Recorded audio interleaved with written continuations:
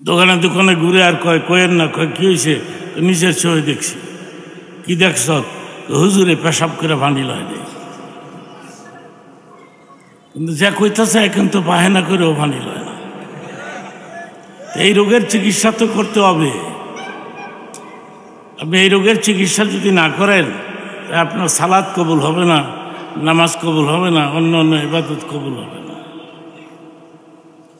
যুবক বাবারা, তোমরা যারা আসছ, তোমরা আমাকে দেখো নাই। আমার ওয়াজের বয়স চলছে পঞ্চাশ বছর। তোমাদের বয়স তো এত হয় নাই। ইদানিং মোবাইল টোবাইলে আমার ওয়াজ তোমরা শুনে থাকবে, আমি জানি। আর সে আগ্রহটা নিয়েই আজকে এখানে তোমরা উপস্থিত হয়েছ। চমৎকার আয়োজন হয়েছে মাদ্রাসার পক্ষ থেকে। এর চাইতে ভালো আয়োজন আর হতে পারে আয়োজন দেখে আমি খুশি হয়েছি। তবে তোমরা অল্প সময়ের জন্য হলেও বসবা। হ্যাঁ আমার ডান দিকে জায়গা আছে, এখানে এসে বসো। ডাইনে জায়গা আছে, এখানে বসো। বসলে একটা আদব রক্ষা হয়। তোমরা বসো। Sit down sit down please ইংরাজি না খুলে বুঝে না। এই জন্য ইংরাজিতে কইলাম সিট ডাউন প্লিজ যারা আসবেন, আপনারা এসে বসবেন। ভলান্টিয়ার্সের সার্ভিস যারা দিবে, ছাত্র বাবারা, তোমরা ওখানে দু চারজন দাঁড়ায় থাকো। লোকজন আসলে বলবা যে প্লিজ বসেন প্লিজ বসেন। অনেক লম্বা সময় বয়ান করা আমার পক্ষে সম্ভব হবে না। যদ্দূর পারা যায় আপনারা বলেন, ইনশাআল্লাহ। ইনশাআল্লাহ এমন একটা বাক্য যেটা বলতে হয়, না বললে মুসিবতে পড়তে হয়। ছোটোকালে একটা গল্প পড়েছিলাম, এই ধরনের। এক মিনিটে বলে ফেলব। এক ব্যক্তি বাজারে যাচ্ছে, গাদা কিনবে। পথিমধ্যে তার বন্ধুর সঙ্গে দেখা হয়েছে। তো বন্ধু রেখে বলে, কি হে, তুমি কোথায় যাও? গাদা কিনতে যাই। ভালো কথা, ইনশাআল্লাহ বলো। তো লোকটা উত্তর দিল, বাজারে গাদা আছে, পকেটে টাকা আছে, আমি ইনশাআল্লাহ কেন বলব। বলল না। না বলতে রেজাল্ট কী হলো? বাজারে ঢুকার পরে পকেট মার টাকা নিয়ে গেছে। আর গাদাটা কিনতে পারল না। সন্ধ্যাতে বাড়ির দিকে যাত্রা ধরেছে। প্রতিমধ্যে ওই বন্ধুর সঙ্গে আবার দেখা হয়েছে। বন্ধু রেখে বলে, কি হে? গাদা কই? ইনশাআল্লাহ টাকা চুরি হয়ে গেছে। আপনারা বলেন এখনকার ইনশাল্লাহ বললে কাজ হবে? আপনাকে সময় মতো বলতে হবে। ইন জাস্ট টাইম চিল্লায় বলুন, ইনশাআল্লাহ। আরেকবার বলুন মাশা আল্লাহ আরেকবার বলুন জাজাক আল্লাহ আরেকবার বলুন, আলহামদুলিল্লাহ। আপনারা কি আমার দিকে নজর করে আছেন? সবাই, একটা হাদিসের অর্থ করি, ব্যাখ্যার যাব না, ব্যাখ্যার সময় নাই, শুধু অর্থটাই করব। হাদিসের মধ্যে আসছে, ওলামে ইকরামের চেহারার দিকে আপনি যতক্ষণ নেক নজরে তাকায় থাকবেন, সগিরা গুণাগুলো মাফ হতে থাকবে। হুজুরদের চেহারার দাম কত দেখেন? এক শ্রেণির লোকেরা আমাদের কাঠমোল্লা কয় আমাকে নাকি কাঠ দিয়া বানাইছে। কাঠ দিয়া বানাইছে? কাঠমোল্লা বলে কেন? এই লোকটা বোকা, জোরে বলো কি? আবার এক শ্রেণির লোকরা বলে, মোল্লার দৌড় মসজিদ পর্যন্ত, মসজিদের বাইরে নাকি আমাদের দৌড় নাই। নন্দীপাড়ার ভাইরা, বাবারা, তোমরা বলো তো, এই পৃথিবীতে সবচাইতে উৎকৃষ্ট স্থান কোনটা? মোল্লার দৌড় জায়গাটা ভালো না খারাপ? যে বেটা কয় হ্যাঁ নিজে অর্থ বুঝে না। পঞ্চাশ বছর ধরে ওয়াজ করে গোটা দুনিয়া ঘুরে ঘুরে। এই বড় আমি কিছুদিন আগে আমেরিকা হয়ে আসলাম। মাসাল্লাহ বলো। গোটা দুনিয়াটা ঘুরে ঘুরে পঞ্চাশ বছর ধরে আমি বয়ান করে আসতেছি। হ্যাঁ? আমি চিল্লাই চিল্লায় কথাটা বলে আসছিলাম, মোল্লার দৌড় শুধু মসজিদ নয়, মোল্লার দৌড় জান্নাতুল ফরদাউস পর্যন্ত। চিৎকার মেরে বলো সুবাহান আল্লাহ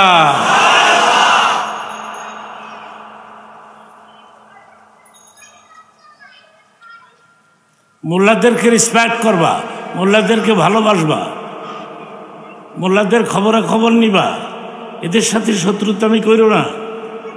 রেজাল্ট খারাপ হবে। ঠিক কিনা বলো?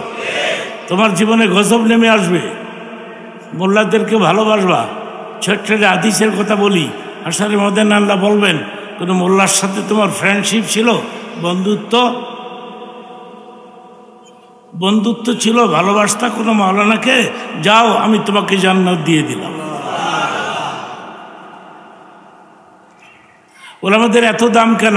এদের সিনার মধ্যে তিরিশ পারা কোরআনের আলেম আছে। ঠিক কিনা বলো? যুবক বাবারা, তোমরা বলো, আমি শুনি। ঠিক কিনা বলো? তিরিশ পারা কোরআন।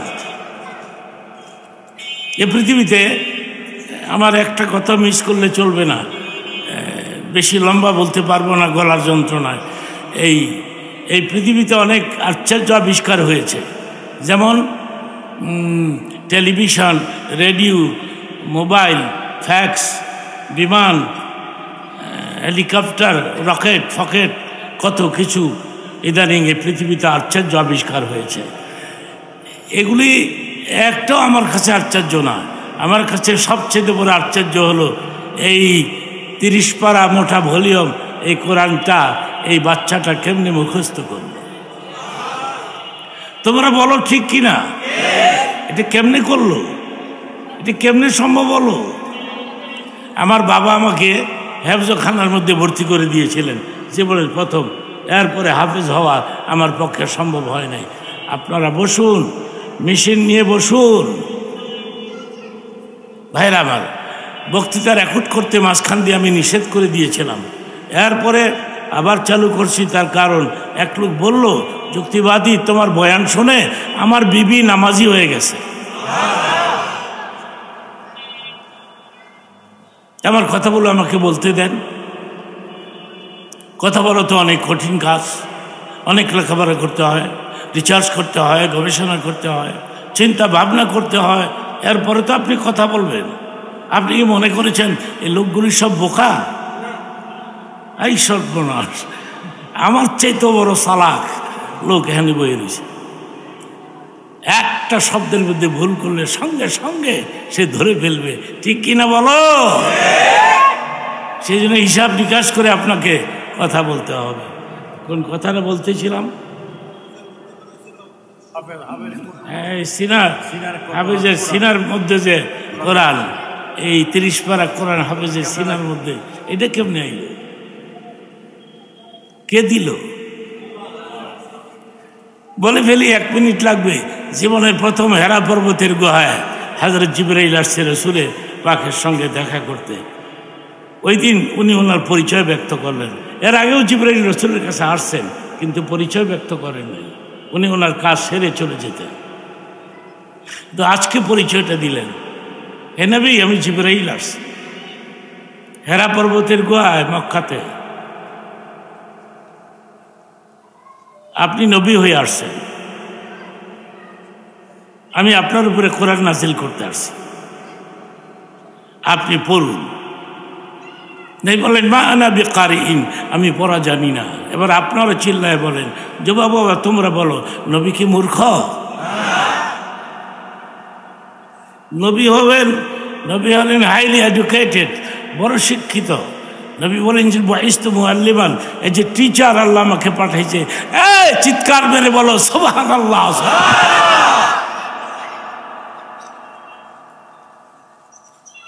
কিন্তু নবী যে বলতেছেন আমি পড়া জানি না। হাজিব্রাইল বলেন, আপনাকে পড়তেই তো হবে। বোখারি শরীফ আসছে, দুই হাত বাড়াইয়া নবীকে ধরে চাপ দিয়ে ছেড়ে দিলেন, আবার চাপ দিলেন, ছেড়ে দিলেন, আবার চাপ দিলেন, ছেড়ে দিলেন। তিনটি চাপ দেওয়ার পরে নবী জিবরাইল বললেন, এবার আপনি পড়ুন। নবী বললেন, আমি কি পড়ব? চাপ দেওয়ার আগে নবী বলছেন, আমি পড়তে জানি না। চাপ দেওয়ার পরে বলতেছেন, কি পড়ব? এই চাপের মধ্যে আল্লাহ পাক মোহাম্মদ সাল্লামকে পড়ার যোগ্যতা দান করেছেন। জিবরিল বললেন ই করা বিশ্ব রব্বিকাল্লাদি খালা আপনি পড়ুন, আপনার প্রভুর নামে যিনি আপনাকে সৃষ্টি করেছেন।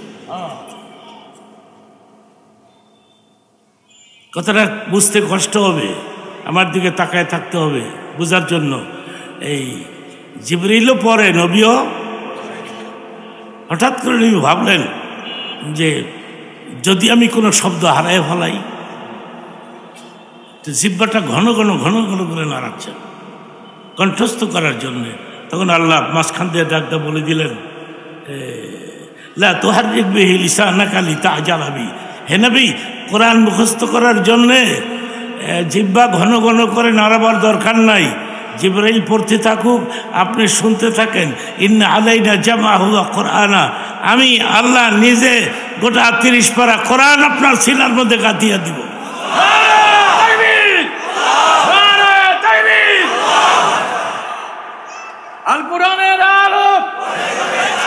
আপনি তকবির দিলেন কেন? না না না। কিছু বক্তা আছে লগে লোক লইয়ে তুই খালি তকবির দিবি। পাবলিক মনে করব বোম্বাস্টিক মার্কার বক্তা। আই ডোন্ট লাইক দিস, আমি এগুলি পছন্দ করি না। উনি একজন ভালো বক্তা। আমার তকবির আমি নিজেই দিব। না রে তকবি হয় নাই, আরও জোরে না রে তকবির। আমি কি আমার কথাবার্তা বোঝাতে পারতেছি? অসুস্থ অবস্থায় পারতেছি বাবারা? তোমরা আমার দিকে নজর করে আছো?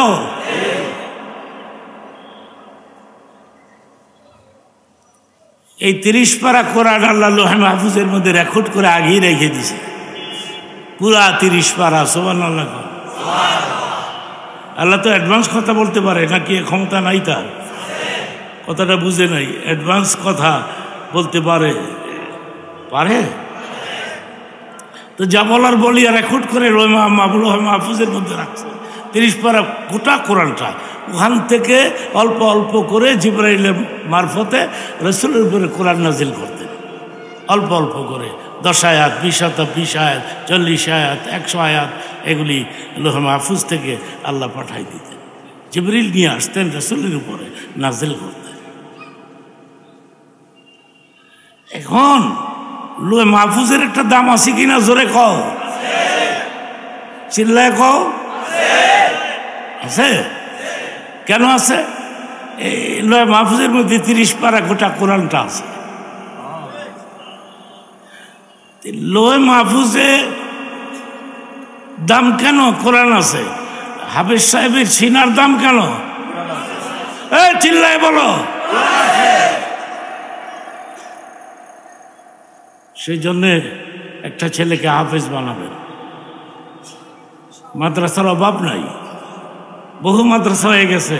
মাদারটেক এলাকায়, নন্দী পাড়া এলাকায় বহু মাদ্রাসা হয়ে গেছে। একটা ছেলেকে হাফেজ বানান, চারটা পড়া যদি আল্লাহ দিয়ে থাকে, আপনি তিনটাকে ইংরেজি পড়ান আর একটাকে মাওলানা বানান। কিছু লোকের এই দিন বলতেছে, মাওলানা বানাবো? মাওলানা হইলে যে ভাত পায় না। মৌলবীরা বলে ভাত পায় না। ভাত পায় না না খায় না। চিল্লায় বলেন পোলাও খায়, মুরগার রান খায়, রুই মাছের মাথা খায়, এক হাত লম্বা কুই মাছ খায়। ময়মনসিং ভাটি এলাকায় আমার ওয়াজ ছিল একবার, এটা বোধহয় পনেরো বিশ বছর আগে। এক ভদ্র মহিলা মহিলার আমি ভুলতে পারি না, মারা গেছে, আল্লাহ তাকে জান্নাত দেব তার স্বামী বিলের থেকে একটা বড় কই মাছ ধরছে, বিল বিল, বড়। একাত লম্বা স্ত্রী বলছে, যুক্তিবাদী বলে এই বউ আজ করতে। হ্যাঁ এই মাছটা না বেচলে হয় না। এটা আমি ভাজি করে দিই, হুজুরে খাইতো আর দোয়া করতো। স্বামী স্বামী না করে নাই। স্ত্রী একটা ইচ্ছা করছে, দাও বাজি করে দাও। নিয়ে আইসা আমার কাছে, হুজুর, আমার বেগম আপনাকে অনেক ভালোবাসে। আপনি মাছটা বিলেতে ধরছিলাম, দুই চার পাঁচশো টাকা ব্যস্ত থাকতাম। আমার দরকার নাই, আমার বেগম বাজি করে দিছে আপনি খাইতেন আমার পোলা মেয়েদের জন্য দোয়া করতেন কইছে। আমি দেখি নাই ভদ্র মহিলাকে এরপরে খবর নিছি আমি যে মারা গেছে। আমি তার জন্য দোয়া করেছি, আল্লাহ এই মহিলাকে তুমি জান্নাত দিয়ে দাও। দোয়াটা আমি করছি, আমার ভেতর থেকে আসছে, করছি। এখন দোয়া করে ফেলেছি অন্তর দিয়ে। জান্নাত তো আল্লাহ দিবেই। আল্লাহ তো জালিম না, আল্লাহ তো রহমান রাহিম। আল্লাহ ওলামাদের দরখাস্ত মঞ্জুর করে, পীর বুজুর্গদের দোয়া কবুল করে। এই জন্য আমরা দোয়ার লেগে যাই। এই যে কত লোক ভেতরে গিয়ে মসজিদে আমার সঙ্গে মুসাফা করল, একটা টেয়াও দেয় না। মাগলা মাগলা। কি যন্ত্রণা? দৈরে আবার যাতা দেয়। ঠান্ডা হাত দিয়া। সে যাতা দেশ দেশ, বিশটা টেয়া দিয়া যাতা দেয়। তা আমি বুঝি না, যুবক বাবারা, ভবিষ্যতে তো তোমরা বেঁচে থাকবা, ঠিক কি না? আলেমুল আমাদের সঙ্গে দেখা করলে কিছু আদিয়া দিবা। কম হোক, বেশি হোক। দিয়া বলবা, হুজুর আদিয়াটা আমি দিলাম আপনাকে। আমাকে একটু দোয়া করবেন, আমার ছেলেকে দোয়া করবেন, আমার মেয়েকে দোয়া করবেন, আমার মেয়ে পরীক্ষার্থী, দোয়া করবেন। এই এই কাজটা যদি করতে পারো, এই দোয়াগুলি তাৎক্ষণিকভাবে মঞ্জুর হয়ে যায়। সঙ্গে সঙ্গে কবুল হয়ে যায়। আমি কি ছোট্ট একটা কথা বলব? দু মিনিটই বলে ফেলব? আমার জন্মস্থান হলো সোনারগাঁয়ে এই সোনারগাঁ এই রাস্তা দিয়ে আমার আসা যাওয়া করতে হয়। সেখানে আমার প্রজেক্ট আছে। বিরাট বড় মাদ্রাসা, মসজিদ, এতিমখানা। এই রাস্তা দিয়ে আমাকে যেতে হয়। রজবের মাস, গিয়ে দেখলাম এক লোক মাইক লাগায় পয়সা কালেকশন করতেছে। এর কণ্ঠ এত ভালো, আমার এই পাগল করে নিয়েছে। তো বলতেছে, দেন দেন দেন, দিয়া যান দিয়া যান, সাহায্য করে যান। খাজা বাবার নামে, খাজা বাবার দেখ খালি যায় না। দেন দেন দেন, দিয়া যান আমি ড্রাইভারে কইলাম ডেকের কাছে গাড়িটা থামো। থামাইছে। তবে গাড়ির গ্লাস নামে আমি এর মতো সুর দিয়েই কইলাম, কি দিতাম কি দিতাম? ওটা টেয়া তোলে, এবার আমার সিগনাল এসে। হুজুর, আপনি না। আমি কি কেন? আমার পয়সা হালাল না? হালাল হইলেও আমি নিতাম না। হুজুর, কারও কাছে কইেন না। আমার কণ্ঠ ভালো তো, এই কাম আমার লাগাই দিছে। আমি শতকরা বৃষ্টিয়া নিয়ে গিয়া এ সব কথা গোবর ফাঁক করে লিখেছে। হুজুর কারও কাছে কইেন না, খাসি কিনছে, খাসির গুনা পাকাইব, রাত্রে খাসির গুছ খাইব, আর খাজা বাবার নামে খালি গাজা খাইব। ও বাবা, খাজা খাইতেছি গাজা। তুমি যদি প্রমাণ করতে পারো, খাজা মাদ্দিন চেষ্টি জীবনে গাজা খাইছে, আমি চেহারা দেখাবো না। মাইকের সামনে কথা বলব না, ঠিক কিনা বলো? খাজা বাবার আজকে তারা গাঁজা খাচ্ছে। নজুবিল্লা বলো। গে দেখো পয়সার অভাব নাই। ডেক্সি বইরা গেছে গা টাকায়। একশো, দুইশো, পাঁচশো, হাজার টাকার নোট, পিনাপ কিরা ডেক্সে ঘুমানে বইরা রয়েছে পয়সার কোনো অভাব নেই। আর একটা কথা বলব? যুবক বাবারা টাঙ্গাইল থেকে ওয়াজ করে আসতেছিলাম, গভীর রাত। মির্জাপুরের কাছাকাছি এসে দেখলাম রাস্তার পশ্চিম পার্শ্বে গান হচ্ছে। একজন ভদ্র মহিলা গান গায়। দামি গায়িক, আমি নাম বলব না। নাম বলে আমি তার ডিমান্ড বাড়াইতে চাই না। বক্তারা হুমানে নাম কয়। এমনকি বক্তারা পাগল নাকি? এ বেটির নাম কয় কে? বেটির নাম করতে বেটির ডিমান্ড বাড়লো। হ্যাঁ? ভাইরাল টেরেল হয়ে যাব গা। তো আমি দেখলাম গান গাইতেছে। কিছু লোক আছে। গানটা যখন শেষ হয়েছে মিথ্যা আমি বলি না আমি পীরজাদা মানুষ। পীরজাদা লেখছিনি গানটা যে লিখছে। দেখ লেখছিনি দেখে নাই? কি লেখছে? এই আমি পীরজাদা মানুষ আসলে পীরের বাচ্চা। নিজে ভিড় হইতারলাম না, খালি বাচ্চাই থাকো।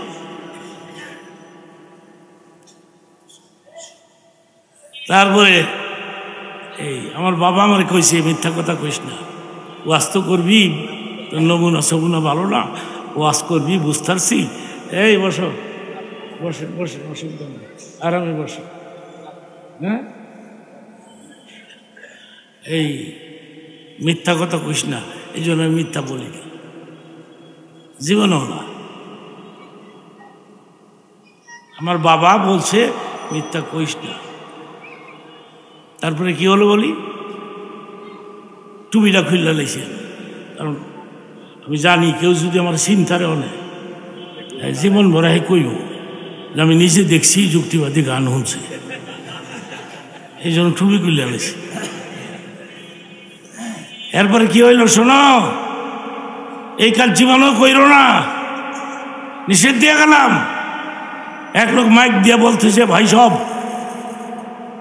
গায়িকার গানে মুগ্ধ হয়ে সলমতি ব্যাপারী এক হাজার টাকা দিল। লোকেরা তালি দিল। সলমতি ব্যাপারী খুশি হইল। সলমতি ব্যাপারী ফেরেস্তারা আইসা কানে কানে কইয়া গেছে, তুমি জান্নাত পাইলা। জোরে কও কোথায় টাকা দিতে হবে? ওইটাও তো শিখি নাই। কিন্তু তার মুসলমান রইলাম আলিম আলমদেরকে দেখলে রিসপেক্ট কইরো, বেশি পারো, কম পারো, কিছু হাত দিয়ে দিও। আমি কি একটু জিকির করব? হ্যাঁ? আপনারাও আমার সাথে করবেন? একসাথে? আলহামদুলিল্লাহ, লা সুবহান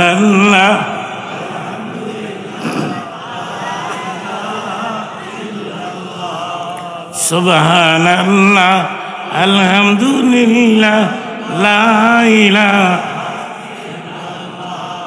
সুবহান আল্লাহ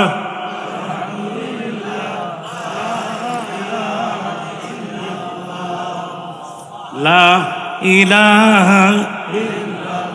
একটু থামেন। লা ইলাহা লা ইলাহা ইল্লাল্লাহর ধাক্কা কোন দিকে? ডান দিকে না বাম দিকে? যুবক বাবারা, তোমরা বলো, ইল্লাল্লাহ, কোন দিকে মারবা? বাম দিকে, জোরে বলল কোন দিকে? এই কথাটা আর ভুল হবে না তো? লা ইলাহা দু বাম দিকে মারবা কেন? এখানে কল্ব, এখানে কি? শেতানু জাসিমুন আলা কলবে বানি আদম। প্রতিটি মানুষের কলবে একটি করে শয়তান বসে আছে। এটা কত শয়তান দুনিয়াতে বানাইছে আল্লাহ? প্রত্যেকের সঙ্গে একটা করে শয়তান আছে। আমার সঙ্গেও আছে। আমারটা যেমন আমার সুবিধা করতে লাগে আমারটা ফজরের সময় কয়, আর একটু শুয়ে থাক। তুই বক্তা মানুষ না? তোর কথায় কত মানুষ নামাজি হয়েছে জীবন বল তুই একটু ঘুমায় থাকলে ক্ষতি কি? এগুলি আমারে কয়। আমি বুঝি না, আমি কি মগা? তখন আমি কম্পিউটারে একটা লাত্তি মারি আমার বেগম হঠাৎ করে ডরায় জায়গা এই কি হয়েছে কি হয়েছে লাত্তি মারছো আমি বললাম, শয়তান কইতাছে ঘুমায় থাকতে। তাড়াতাড়ি পানি দাও গরম পানি। আমার বেগম আবার গরম পানি আগেই নামাজের আগে আমার জন্য কইরা রাখে। আমার বেগম বড় ভালো। আল্লাহ তাকে জান্নাত দেন আমি কইছি, আমি তোমার সাথে নিয়ে জান্নাতে যাব। আপনি আপনার বেগুন নিয়ে যাবেন। এটা হাদিসের কথা তো। মহিলারা খুশি হয়েছে। মহিলারা এই বক্তা আনে নাকি? কি আনে? খালি চিল্লায় খালি চিল্লায় দামি কোনো কথা নাই। হ্যাঁ। দামি কোনো কথা বক্তা শিখে নাই তো, খালি চিল্লায় এটা হাদিসের কথা বলে গেলাম। মহিলাদেরকে জানাই দিও বাসায় গিয়া। তোমার স্ত্রীকে আল্লাহ বলবে তুই তুমি জান্নাতে যাও। স্ত্রী বলবে আমার স্বামী কই? তোর স্বামী কোথায় আছে? খুঁজে বের করতে দেরি হবে। আল্লাহ তাহলে আমি যাব না। আমার জামাইরাই না দাও।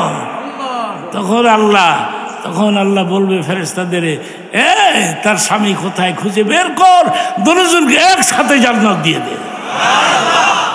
নারায় থাকবি ঠিক আছে?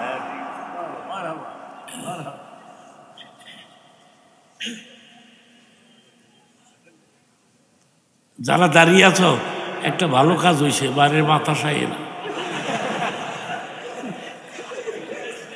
যুবক বাবারা, তোমরা যারা আমাকে দেখো নাই, আজকে তো দেখলা। ঠিক আছে? ভবিষ্যতে দেখলে চিনতে পারবা। আমি খুশি হইলাম। আমি গলাটার জন্য ভালো করে বয়ান করতে পারতেছি না। আজকে এক সপ্তাহ ধরে। এইভাবেই মানুষ শুনতেছে। মানুষ কয়, খারাপ কি? কত বক্তারা তো সুর দেয় নাই। তুমি না হয় গলার কারণে সুর দিতারো না। আব্দুল গাফার তো সুর দেয় নাই মারানা মাসুম সুর দেয় নাই, আমিনুল ইসলাম সুর দেয় নাই, শেখ আলাদি সাল্লাম আজিজুল হক ওয়াজের মধ্যে সুর দেয় নেই। আমরা ঘণ্টার পর ঘণ্টা এদের ওয়াজ শুনছি। অসুবিধা কোথায়? কথাগুলি দামি হলেই চলে, ঠিক কিনা বলো? তোমাদের জন্য আমি আজকে একটা দোয়া করব, স্পেশাল দোয়া। সেটা কি ধরেন? আমি দোয়া করব আল্লাহ যারা এখন আমার কথা শুনতেছে কিছুক্ষণের মধ্যেই মনোজাত দিয়ে দিব। যারা যারা আমার সঙ্গে হাত তুলবে এদেরকে তুমি সোনার মক্কা মদিনা জিয়ারত নসিব করি এই দোয়াটা কত দামি দোয়া হয়ে গেল চিল্লায় বলো আমি।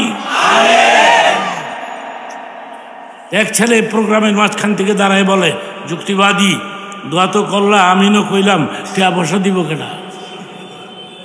আমিন কবুল হইলে পয়সা লাগে না সুরায় ফাতেহা যেদিন নাজিল হয়, সুরায় ফাতেহার সঙ্গে আমিন নাজিল হয় না। আমিন ছিল। আমিন দেখতে এলো আমিন কোরআন শরীফের কোথাও নাই। আমিনটা রসুল বানাই দিছে যেরকম তারপরে সুরায় ফাতেহা পড়লে শেষদা আমিন কইও, কারণ সুরায় ফাতেহা গোটাটাই দোয়া। দোয়া শেষ করার পরে আমিন কইও, এই জন্য আমিনটা আমরা বলি। আমিনের বিরাট ডিমান্ড আছে পাওয়ার আছে শক্তি আছে। ছোট্ট একটা কথা বলে ফেলি। আজ থেকে বিশ বছর আগে আমার এক ছাত্র টাইটেল পাস করছে। বিশ বছর আগের কথা। আহ, গ্রাম অঞ্চলে ইমামতি করে বেতন পায় তিন হাজার টাকা মাস। ইমাম বেতন আবার বাড়াই দিবেন নি যত কমান যায়। পঞ্চাশ বছরে মানুষ যে কত ঠকান ঠকাইছে আমারে। এগুলো কই লাভ নেই বিশ টাকার নোট একশো টাকা কত হয়? হিসাবও জানে না। দুই হাজার টাকা ইনলাভের ভিতরে বইরা পিন আপ কইরা গাড়ির মধ্যে নিয়ে দিছে। হুজুর নেন, দোয়া করেন, ঠিক আছে। আমার আবার অভ্যাস কি জানেন? আমি টাকা পয়সা গুনি না। রাত্রে একটা দেড়টায় নিয়ে আমার বেগমরে দিয়া নাই এই মহিলা জীবন যে কতটা মারছে, আল্লাহ ছাড়া কেউ জানে মারুক গা গিয়া, নিজের ছেলে মেয়ের জন্যই তো মারে, নিজের জন্য তো আর মারে না। সকালবেলা আমারে বলতেছে কইতে ওয়াজ করে এইস তো তোমারে তো ঠকাই দিছে। দু হাজার টাকা দিছে। আরে, মানুষ কত খারাপ। আমাদের মানুষ এইভাবেই ঠকায়। আমি তো ডিমান্ড করে আসি নাই এখানে। আমি তো ইমামরে বলি নাই, আমাকে নেবেন, টাকা তো লাগবে পঞ্চাশ হাজার। জিজ্ঞেস করে। আমি কিচ্ছু চাই যখন শুনছি যে প্রোগ্রামটা একটা মাদ্রাসার, তখন আমি বলছি, ঠিক আছে অনেক দিন ধরে নন্দীপাড়া, টন্দিপাড়া ওগুলি যাই না, ঠিক আছে, দাওয়াতটা রাখলাম তো তোমরা আমাকে পেয়ে খুশি আছো? আগামীতে আবার যদি আসি, খুশি থাকবা? না রে দেখবি বাকি কথাটাও বলে ফেলি। এই, তারপরে আপনার, আমি যদি প্রধানমন্ত্রী হইতাম ওইটার তখন এটাও জানি আমার দরকার নাই। এমপি সেমপি এগুলি তো দাঁড়াইলেই পাস সোনারগাঁও থেকে যদি আমি দাঁড়াই, যে যুক্তিবাদী দাঁড়াইছে, এমপি, মহিলারা ভোট দিয়ে আমার পাশ করা মহিলারা কেউ যুক্তিবাদীর ভোট দিয়া ব্যস্ত জমা কিন্তু আই ডোন্ট লাইক দিস আমি পছন্দ করি না। মন্ত্রীদের ইজ্জত লিমিটেড পাঁচ বছর, কয় বছর? আর হুজুরদের ইজ্জত? আনলিমিটেড কন্টিনিউ করবে কেয়ামতের মাঠ পর্যন্ত। এক একজন হাফেজ, এ যুবকরা শোনো, তুমি যদি একটা বলার হাফেজ বানাইতে পারো, এক একটা হাফেজ, ওই শেফা ওয়াইশার তো মিনা হলে বাইতি। তার বংশের থেকে বিনা হিসাবে দশটা করে লোক জান্নাতে নিয়ে যাবে। তুমি লাভের কাজটা করবা না, তুমি কি বোকানি তুমি তো জ্ঞানী মান নিয়ত করো, একটা বলারে হাফেজ বানাবে এরপর যদি বিয়া সাথী না করো, বউ যদি কপালো না আয়ে বাচ্চা টাচ্চা যদি না হয়, তাহলে একটা আসরের ময়দানে আল্লাহ তোমাকে হাফেজের বাপ বলে ডাক দেবে ওই যে নিয়ত করছ? আল্লাহ, আমি যদি বউ পাই, আমার যদি পোলা হয়, আমি হাফেজ বানাইতাম? বাচ্চা হয়ই নাই। এখন তোমার এই নিয়তের অবস্থা কি হইব? এ, নিয়তটা নষ্ট হবে না। ঝুলন্ত অবস্থায় থেকে যাবে আসরের মধ্যে আল্লাহ বলবে, আমার এই বান্দাকে হাফেজের বাপ বলে ডিক্লার দিয়ে দিলাম। না রে দেখবি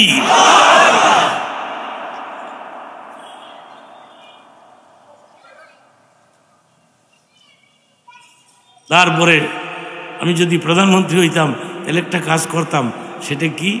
আমি এই দেশের সমস্ত মসজিদের ইমামদের বেতন সরকারি ফান্ডের থেকে দিতাম। কেন্দ্রীয় মসজিদের ইমামের বেতন দিতাম এক লক্ষ টাকা। একটা করে প্রাইভেট কার দিতাম। দিতাম আমি। আর গ্রামাঞ্চলে মসজিদের ইমামদের বেতন দিতাম পঞ্চাশ হাজার টাকা করে। একটা করে মোটর সাইকেল দিতাম। কারণ মোটর সাইকেল না দিলে বেড়ে দৌড়ে গিয়া জমাত পাই ধরবো কেমনি? আমিও প্রধানমন্ত্রী হইতাম না হ্যাঁ মোটর সাইকেল পাইতাম। ঠিক কিনা বলো?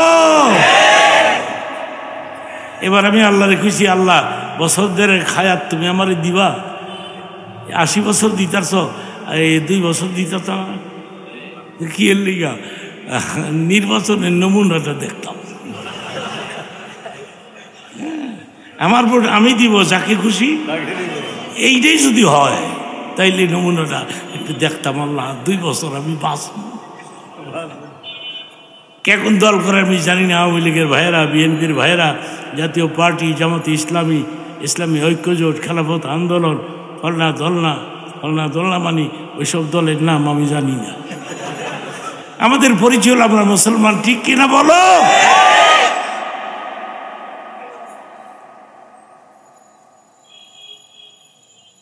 বাকি কথাটা বলে ফেলি।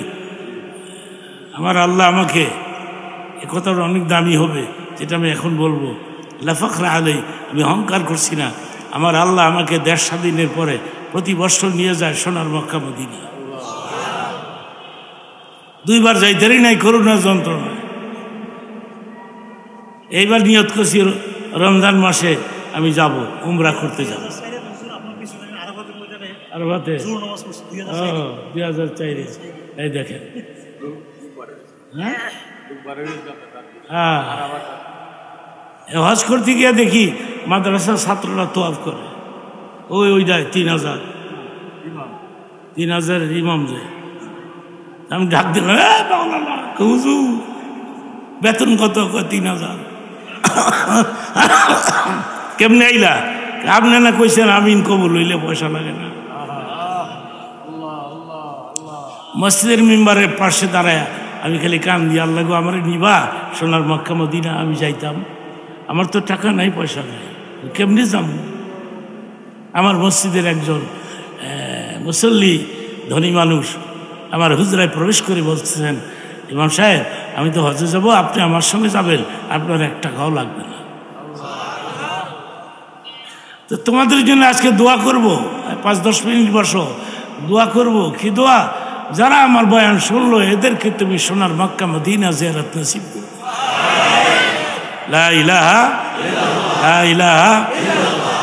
আমি কি আমেরিকার ছোট্ট একটা কথা বলব? তিরিশ বছর ধরে আমি আমেরিকাতে আসা যাওয়া করি। এভরি ইয়ার প্রতি বছর। মাঝখান দিয়ে বিশ বছর আগে অনেক দামি কথা এটা। বিশ বছর আগে গেলাম, গিয়ে শুনলাম এই পৃথিবীতে হার্টের পাঁচ সাতজন বড় বড় ডাক্তার আছে। হার্টের, হার্ট স্পেশালিস্ট। একজন মিশিগানে থাকে, ডেট্রোয়েটে। আমি যাওয়ার এক মাস আগে ভদ্রলোক মুসলমান হয়ে গেছে। একটা শুভ সংবাদ তোমাদের দিচ্ছি। তোমরা শুনলে খুশি হইবা। যেইভাবে বর্তমানে আমেরিকাতে মুসলমান হচ্ছে ওদি খ্রিস্টান, বৌদ্ধ, নাসারা এটা যদি কন্টিনিউ করে, চলতেই থাকে। টুডে টুমরু আজ হোক, কাল হোক, গোটা আমেরিকা মুসলমানদের হাতে চলে আসবে। নারে দেখবি মসজিদের অভাব নাই, মাদ্রাসার অভাব নাই। গির্জা ভেঙ্গে ভেঙ্গে খ্রিস্টানেরা গির্জা বিক্রি করে ফেলতেছে। মুসলমানেরা গির্জা কিনা মসজিদ বানাইতেছে, মাদ্রাসা বানাইতেছে। ওই লোকটা মুসলমান হয়ে গেল। হার্টের বড় ডাক্তার। আমি, আমার আবার বুকের বাম দিকে মাঝে মধ্যে পেন হয়, ব্যথা হয়। আমি ভাবলাম ব্যথাটা কেন হয়? একটু অ্যাপয়েন্টমেন্ট নিয়ে যাই। বুকটা একটু দেখা যাই বড় ডাক্তার যখন। গেলাম, যাওয়ার পরে গিয়ে দেখলাম কি, একজন ফেরেস্তা বসে রয়েছে। সেই শেরওয়ানি, সেই দাড়ি, সেই পাগড়ি। আমি যাওয়ার পরে আমাকে আমি গিয়ে সালাম দিলাম, তিনি সালামের জবাব দিয়ে বললেন মৌলানা সিট ডাউন প্লিজ আপনি বসেন। আর ইউ মৌলানা জিজ্ঞেস করতেছে, তুমি কি মৌলানা আমি বললাম ইয়েস তুমি কি are you read the holy Quran তুমি কি কোরআন পড়ছো? আমার জিগায় কোরআন পড়ছি। আমি কইলাম ইয়েস আমি ভাবলাম কি কোরআনের কোনো আয়াতের অর্থ অর্থ বোধ জিগাইব। আমি বললাম ইয়েস কোরআন পড়ে থাকলে তুমি বুক দেখাইতে কেন আসছো? বুকের মেডিসিন বুকের ওষুধ তো কোরআনের মধ্যেই আছে। আল্লাহ বিদিক্রিল্লাহি তৎমা ইনুল মানে না, তুমি সকালে বিকালে দুইবার জিকির কইরো। জিকির করলে হার্ট মজবুত থাকবে। তোমাদেরকেও বলে গেলাম, তোমরাও জিকির কইরো। নামাজ বাদ দিও। নাকি? নামাজ বাদ দিয়া জিকির করলইব নামাজও লাগবো? তোমাদেরকে একটা আদিস মাঝখান দেওয়ার পরে কি হলো আমি বলতেছি। হঠাৎ করে ভুলেও যেতে পারি। আদিসটা শোনাই তোমাদেরকে। কোনো যুবক, কোনো যুবতী জমিনে সেজদায় পড়ে গেলে, জমিন চিল্লায় বলতে থাকে, ও আল্লাহ যুবক, যুবতী, আমি জমিনের উপরে কপাল ঠেকাইছি। এদের জীবনের সমস্ত গুণ মাফ করে দাও, কারণ এদের সেজদার ওজন আমি সইতে পারি না।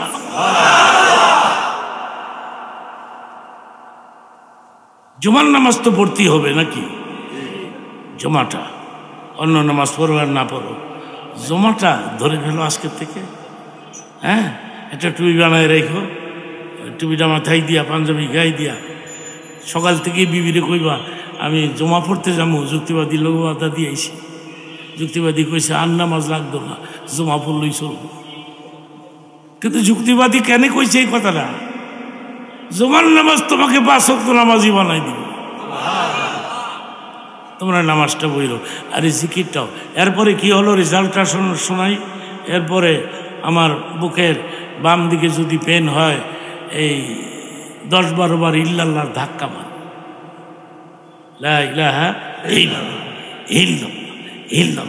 দশ বারো বার ইল্লাল্লাহ মারলে, গাড়ির থাকলে গাড়িতেই মারি এটা তো ড্রাইভার টের হয় না এরকম করতেছে কেন?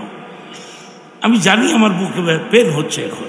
তখন আমি ইল্লাল্লাহর ধাক্কা মারি দশ বারো বার। এক জর্রা ব্যথাও থাকে না। না রে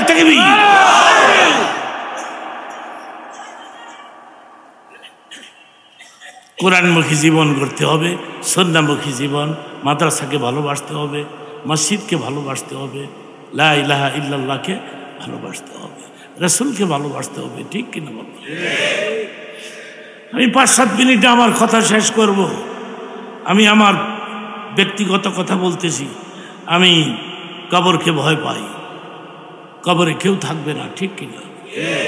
কবরে আমাকে মনকির নাকি তিনটি প্রশ্ন করবে। এই প্রশ্ন তিনটি কি ইংরাজিতে হবে? ইংরাজিতে? বাংলাতে? আরবিতে? তুমি যে আরবি জানো না। তুমি যদি মোমেন মোত্তাকি নামাজি হতে পারো, আল্লাহ নিজেই তোমাকে আরবি শিখাই আমি কি বলব, প্রশ্ন প্রস্তুতিটি কেমন হবে? তোমরা উত্তর দিবা। প্রথম প্রশ্ন করা হবে ফার্স্ট কোশ্চেন মার রব্বুকা তোমার রবকে? একসাথে বলো। সেকেন্ড প্রশ্ন করা হবে আমার দিন উকা, তোমার দিন কি? সর্বশেষ প্রশ্ন করা হবে আমার নবী উকা, তোমার নবীকে হ্যাঁ? তোমার নবীকে হাদিস শরীফ, এটা কি? এই মোবাইল আপনার? আপনি তো মানুষ ভালো না। একটা বয়ান করতেছি আর আপনি বারবার এটা দেন। ডংরা এটা কয় হাজার টাকা দাম? বক্তা চায়, যুক্তিবাদীর লোক আমার ছবিটা উড়াই দেন। ভাইরাল করব আর হ্যাঁ হ্যাঁ। স্মৃতি বাদ দাও, স্মৃতি বাদ দাও। স্মৃতি তো না যায় এটা ভাইরাল করার লাগে। আমি কি সোজা মোজা বলব? আমি যুক্তিবাদীর কাছে বইয়ে রুচি দেওয়া হলো তোমরা? আমার খুব প্রিয় ভক্ত। আমার ছাত্র। ভালো ওয়াজ করে একদিন দাওয়াত দিয়ে টেস্ট করে দিয়ে।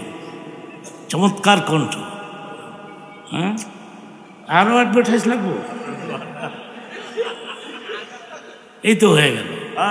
নন্দীপাড়ার থেকে নন্দীপাড়ার থেকে একটা প্রোগ্রাম পাইলে লোকেরা তোমার ওয়াজ শুনব দোয়া করব তোমাকে। কিন্তু এমন এক সময় তুমি আমাকে ডিস্টার্ব করলা একটা দামি কথা বলতেছি কথাটা বুইলা ভালাইছি। মনে নেই। এই! এই তিনটি প্রশ্নের উত্তর দিতে পারলে রেজাল্ট কি হবে জানো? আল্লাহ বলবেন জান্না ফেরেশতারা আমার বান্দা বান্দি তিনটা প্রশ্নের উত্তর দিয়ে ফেলেছে বেহেস্তে বিছানা বিছায় দাও। আমার বান্দি ঘুমাইবো আমার বান্দা ঘুমাইবো। এমন গো ইসরাফিলের সিঙ্গার ফুয়ের আগে জেনে। কবরকে আমি ভয় পাই, কিন্তু হাসরের ময়দানকে ভয় পাই না। কেন ভয় পাও না? হাসরের ময়দানে রসুল থাকবেন, ঠিক কি না? ছোট্ট একটা আদিসের কথা বলে শেষ করব, কেউ লড়বেন না হাসরের ময়দান যেদিন কায়েম হয়ে যাবে, আল্লাহ জিবরিলকে বলবে, জিবরিল, মদিনাতে যাও, আমার রসুলকে তুলে নিয়ে আসো। জিবরিল বলবে, নবীর রজা আমি চিনব কেমনে? কারণ চিহ্ন ভিন্ন নাই তো। মানুষ তো সমস্ত লোক তো কবর থেকে ওইটা বসে তখন আল্লাহ বলবেন, মদিনায় গিয়ে দেখবে যে কবরের উপর দিয়ে নূর উঠতেছে, নূর। যদি আমার নবী ওখানেই ঘুমাই দিয়েছে ওখানে গিয়ে তুই ডাক দে। ইয়ারসুল আল্লাহ আল্লাহ আপনাকে সালাম দিয়েছে। তখন নবী কবরের দুই দিকে হাত বর করে দাঁড়াবেন, দাঁড়ায় দেখবেন মানুষ কাঁদতেছে। নবী বলবেন, জিবরিল, আমার উম্মত কই? সুবান আল্লাহ বলেন নবীকে আপনার উম্মত তো আছে। আমার উম্মত জাহান্নামে ফেলে দিয়া আমারে নিতে আইসো জান্নাত দেওয়ার লেগে? জান্নাত দেওয়ার লেগে নিতে আইসো আল্লাহর গিয়ে কও, আমি আমি জাহান্নামে যাব। জাহান্নাম তৈরি করতে বলো আমার চলবে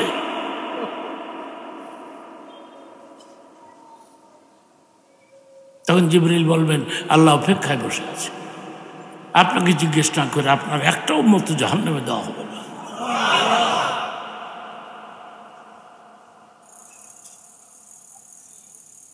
রসুল যাবেন আল্লাহ পাকের দরবারে।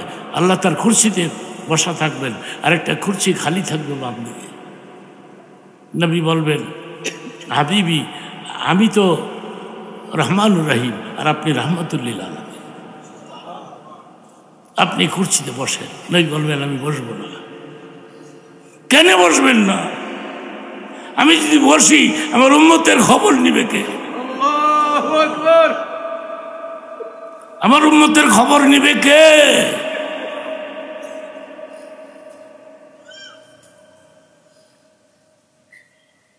আল্লাহ গো, আমি ফুল ছাড়াতে যাব। কেন যাবে? ফুল ভাঙ্গিয়া যদি আমার উন্মত জাহান্নামে পড়ে যায়। আল্লাহ, আমি মিজানে যাব। ওজন যদি হালকা হয়ে যায়। আল্লাহ বলবেন, আপনি যান। তখন সমস্ত নবীর উম্মতেরা নফসি নফসি করে কাঁদতে থাকবে। রসুল বলবে, রব্বি হাবলি উন্মতি মিজানের পাল্লার পার্শ্বে যাইয়া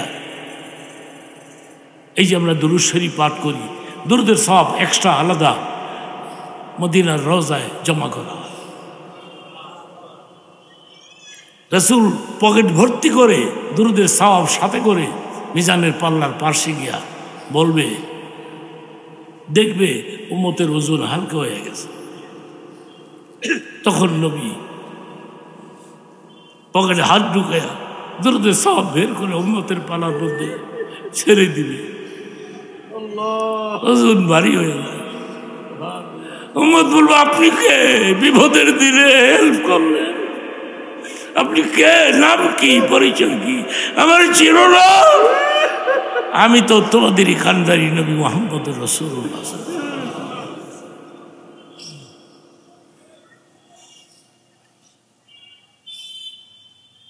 বক্তৃতার শেষ পর্যায়ে যাদের দিলটা নরম হয়ে গেল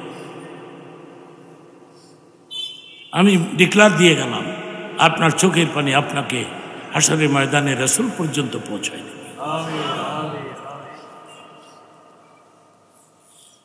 তখন নবী সেজদায় পরে কাঁদবেন। এক বর্ণনা আমি পেয়েছি, ইমাম হাসান হোসেন নবীর সঙ্গে থাকবেন। মিজানের দ্বারে বলবে, তোরা দুই ভাই দ্বারা আমি জাহান্নাম দেখতে যাব।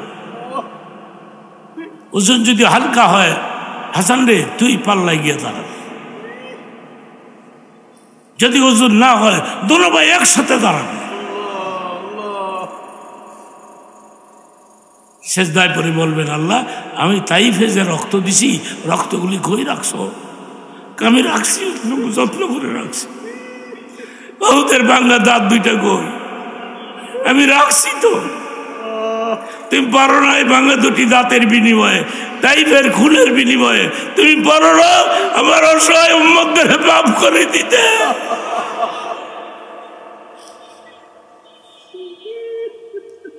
এগুলি বিশুদ্ধ আলোচনা। তখন আল্লাহর রহমতের দুর্গাতে জোশ মারবে। তিনি বলবেন, হাবিবি ইরফার আসা তুমি তোমার মাথা উঠাও। ফাঁস পালে সীতা যাকে খুশি তাকে বিনা হিসাবে জান্নাতি নিয়ে চলে যাও।